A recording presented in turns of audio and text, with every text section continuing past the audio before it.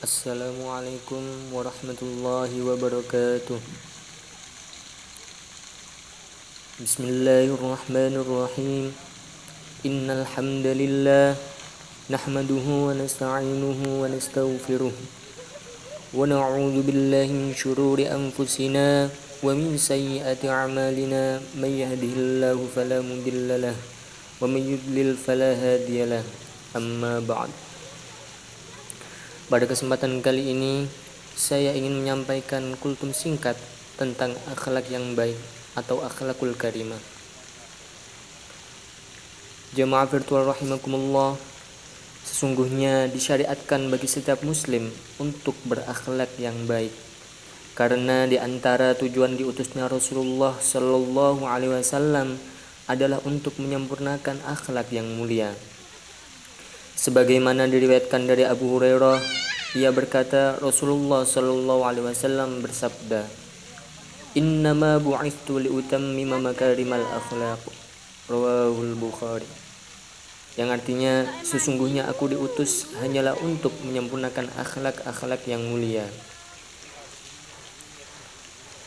Jamaah virtual rahimakumullah, seorang yang baik akhlaknya menunjukkan kesempurnaan imannya dan mukmin yang paling sempurna imannya adalah yang paling baik akhlaknya. Akhlak yang baik meliputi akhlak kita kepada Allah dan akhlak kepada sesama manusia. Akhlak kepada Allah mencakup tiga hal, antara lain yang pertama menerima berita yang datang dari Allah dengan cara membenarkannya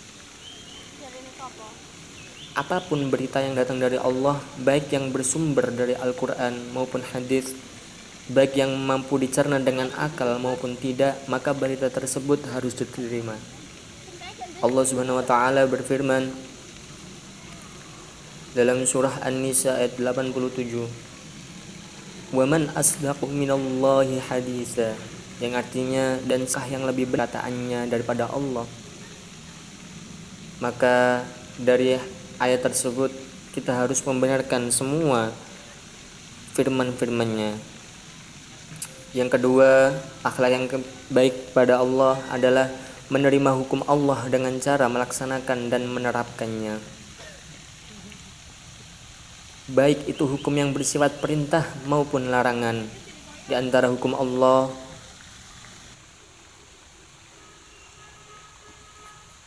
ada yang berupa larangan seperti contoh dalam surah Al-Baqarah ayat 275 A'udzu billahi minasyaitonir rajim wa ahallallahu al-bai'a wa harrama riba. Dan Allah telah menghalalkan jual beli dan mengharamkan riba. Maka seorang muslim yang taat haruslah menjauhi berbagai bentuk ribawi baik itu riba fadl maupun riba nasi'ah.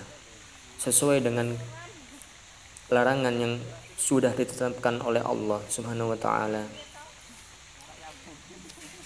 Yang ketiga, akhlak yang baik kepada Allah adalah menerima takdir Allah dengan sabar dan ridho.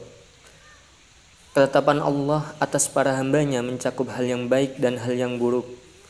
Ketika seorang hamba mendapatkan takdir yang buruk, maka ia harus bersabar dan berupaya untuk ridho terhadap takdir tersebut. Selanjutnya, akhlak kepada sesama manusia. Di antara akhlak yang baik kepada sesama manusia adalah tidak mengganggu atau kaful ada.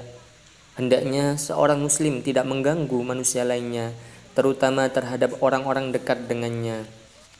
Yang kedua, akhlak yang baik terhadap manusia yaitu bersikap dermawan atau badlun nada Hendaknya seorang muslim bersikap dermawan terhadap muslim lainnya dan Rasulullah wasallam adalah orang yang sangat dermawan.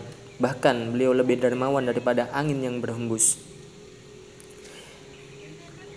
Hal ini sudah dinas oleh hadis riwayat Bukhari. Termasuk bentuk kedermawanan adalah dengan memaafkan kesalahan manusia yang lainnya.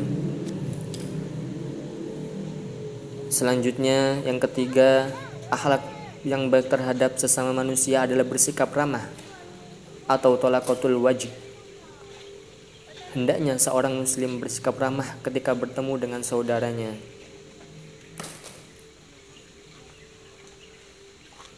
Demikianlah kultum singkat yang dapat saya sampaikan. Kurang lebihnya mohon maaf هدانا الله وإياكم أجمعين ثم السلام عليكم ورحمة الله وبركاته.